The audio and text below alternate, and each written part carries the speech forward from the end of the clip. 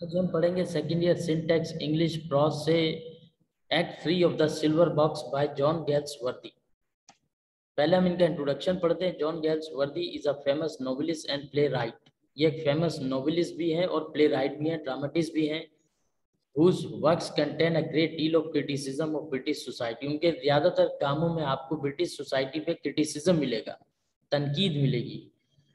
The values of well to do professional class खास तौर से वो professional well to do class को क्रिटिसाइज करते हैं। अमीर लोगों पे हालाँकि उनका ताल्लुक भी एक professional well to do class से था। Like all the writers of the time John Gales is a satirist and at best and ironist तो जॉन गेल्स वर्दी जो है एक सटायरिस्ट के तौर पे जाने जाते हैं और आयरनिस्ट के तौर पे जाने जाते हैं। The silver box is a powerful and bitter play एक पावरफुल और एक बिटर प्ले है, तल्ख प्ले है। इसमें तल्ख सच्चाई है माशरे की, दोगली सोसाइटी के कुछ खामियाँ उन्होंने बताई हैं। Through the character of James Jones Galsworthy criticizes the British society in which the rich are favored by law and injustice is done to the poor. और उन्होंने जो करेक्टर यूज़ किया है क्रिटिसिज्म करने के लिए ब्रिटिश सोसाइटी को, उस करेक्टर का नाम है James James Joyce James Jones और उसमें वो ये बताते हैं कि किस तरह से अमीरों को फेवर की जाती है ब्रिटिश लॉ में, कानून में, उनके साथ जो नरमी अमीरों के साथ और गरीबों के साथ किस तरह ट्रीट किया जाता है।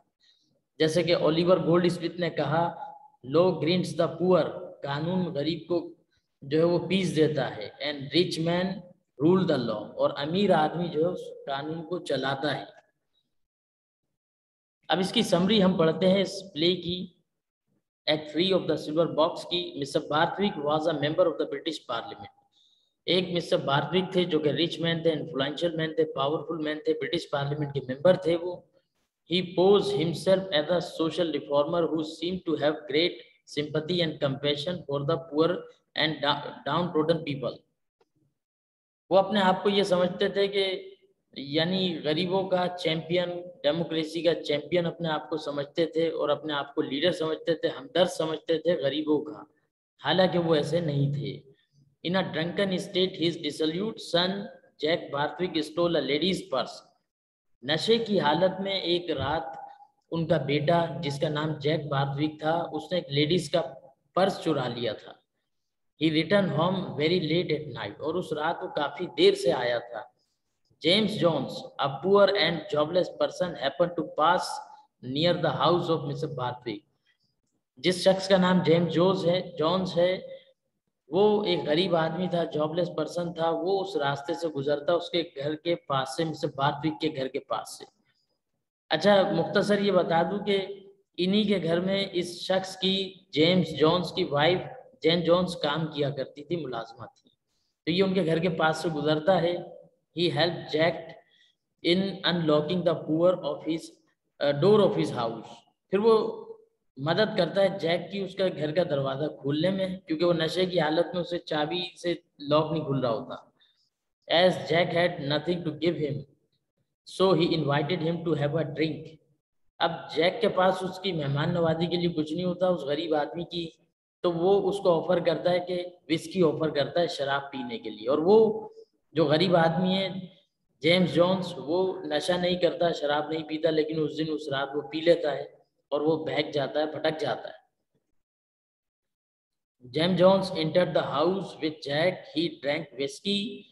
Excessively, and under the influence of whiskey, he stole a silver cigarette box and the same purse. और वो नशे की हालत में जब वो गरीब आदमी विस्की पी लेता है और पेट उसका खाली होता है, उसके सर पे चढ़ जाती है और वो भूल जाता है कि गलती से बेसिकली इसमें लिखा है कि उसने चोरी की, चोरी नहीं करता वो गलती से वो सिल्वर बॉक्स अपनी जेब में रख लेता है मधोशी के आलम में स्टोलन बाय जैक और जो एक पर्स होता है, जो जैक ने चुराया होता है एक औरत से। जैक कौन है? पार्लियामेंट के मेंबर का मिस्टर बातिक का बेटा है। उसने भी पर्स चुराया है और इसने भी सिल्वर बॉक्स चुरा लिया, गरीब आदमी ने। अब कोर्ट में ये केस चला गया है। In the morning Thomas Marlow butler to the Barthwick found the silver box missing. अब सुबह के टाइम जो मिस्टर मार्लो है, जो बटलर है, खानसामा है, मिस्टर बार्टविक के घर में मुलाजिम है, वो ये देखते हैं कि बॉक्स मिसिंग है He communicated the loss to Mr. Bartwick, who sent him to the police station to lodge the report of the theft. तो जब वो जो लॉस्ट सिल्वर बॉक्स है वो बताते हैं मिस्टर बार्टविक को के मुलाजिम बताता है कि गायब है तो वो पुलिस स्टेशन भेजते हैं उनको लॉन्च करने के लिए report the police acted promptly and arrested Jones along with his innocent wife who was employed as a charwoman in the house of Mr. Bathwick. तो पुलिस फ़ौरन हरकत में आती है और मिस्टर जॉन्स को गिरफ़्तार कर लेती है और उनकी वाइफ को भी गिरफ़्तार कर लेती है, जो चार वुमेन है, मुलाजमा है मिस्टर बातिक के घर में इनोसेंट हैं दो, दोनों हस्बैंड एंड वाइफ इनोसेंट हैं और उसकी वाइफ का कुछ लेना देना नहीं है, उसे भी गिरफ़्तार कर लेती है, उनके बच्चे भी होते हैं छोटे छोटे Jones became violent and resisted the police when they arrested his wife who did who did not commit any crime. Jones जो है वो गुस्से में आ जाते हैं जब पुलिस आती है, पुलिस पे हाथ भी उठा देते हैं कि मेरी वाइफ को हाथ मत लगाओ, मत लेके जाओ, मत गिरफ़्तार करो, जब वो ये कहते हैं, पुलिस पे हाथ उठाते हैं तो पुलिस उनको भी पकड़ के ले जाती है, उनकी वाइफ को ले जाती है एक और क्राइम बन जाता है The police took her into custody because they suspected that she might have stolen the silver box or helped her husband in entering the house of Mr. Bharti. Mrs Jones को यानी जो poor women है उसको इसलिए गिरफ़्तार करती है police के क्योंकि ये मुलाजमा थी मिस्टर बार्विक के घर में पार्लियामेंटेरियन के घर में मुलाजमा थी शायद इन्होंने अपने हस्बैंड की मदद की हो घर में दाखिल होने की चोरी करने के लिए Owing to the scoundrel, Mrs. Jones lost her job and had to vacate the house in which she lived with her three children. अब जब ये इल्ज़ाम लगा तो उन्हें अपना घर खाली करना पड़ा और वो अपने बच्चों समेत ये सारे मामला उनकी जॉब भी गई उन्हें घर भी खाली करना पड़ा ये सारे मामला उनके साथ हुए माशी मामला प्रॉब्लम्स में वो आ गई Jones was arraigned in the court of law for stealing the silver cigarette box and making assault on the police. John को लाया गया और कोर्ट में पेश किया गया कि उसने पुलिस के ऊपर भी हमला किया है अटैक किया है। He was sentence to one month in prison with hard labour उसको जो है सेंटेंस हुई, सजा हुई। मिस्टर जॉन्स को जो गरीब आदमी था हार्ड लेबर की he protested against this injustice उसने प्रोटेस्ट किया कि ये मेरे साथ इनजस्टिस हुआ ना इंसाफी हुई for Jack who committed the identical crime was not punish और जो सेम क्राइम जो मिस्टर जैक बार्फिक ने किया, जो इन्फ्लुएंशियल पार्लियामेंटेरियन का बेटा था, उसने भी एक औरत का पर्स चोरी किया था, उसे कोई सजा नहीं हुई, जज भी मिला हुआ था। ही सेज टू मैजिस्ट्रेट उसने मैजिस्ट्रेट से कहा कॉल दिस जस्टिस क्या इसको जस्टिस कहोगे? व्हाट अबाउट हिम इसके बारे में क्या कहोगे? ही गॉट ड्रंक वो भी नशे में था. ही टुक द पर्स उसने औरत का पर्स चोरी किया. But it's his memory got him off justice money got him off justice ये इसका पैसा था जो उसको इंसाफ दिया उसको और मुझे सजा हुई। Mrs. Jones was also tried for stealing the silver box and helping her husband in obtaining access to the house of Mr. Barwick. तो मिसिस जॉन पे भी यही इल्ज़ाम था कि उन्होंने अपने हस्बैंड को सिल्वर बॉक्स चोरी करने में मदद फराम की, सहूलतकार बनी but the charges level against her could not be proved and she was acquitted उनके ऊपर लेकिन वो चार्जेस प्रूव नहीं हो सके थे और उनको बाइज्जत बरी कर दिया गया था।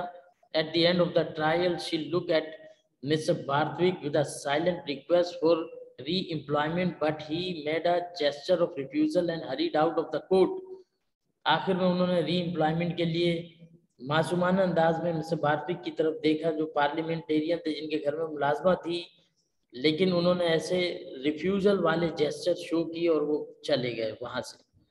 इसका कंक्लूजन ये है कि the dramatist concludes that it is it is the poor people who always suffer and pass through mental and physical torture and they are the one who face these adversities with patience and endurance तो mister जो John Galsworthy जिन्होंने ये act three of the silver box से जो हम पढ़ रहे हैं, उन्होंने ये मैसेज दिया, लिखा है कि हर हाल में गरीब आदमी को सफ़र करना पड़ता है। अमीर और गरीब और छोटे बड़े के लिए अलग अलग कानून है उनकी सोसाइटी में, माशरे में।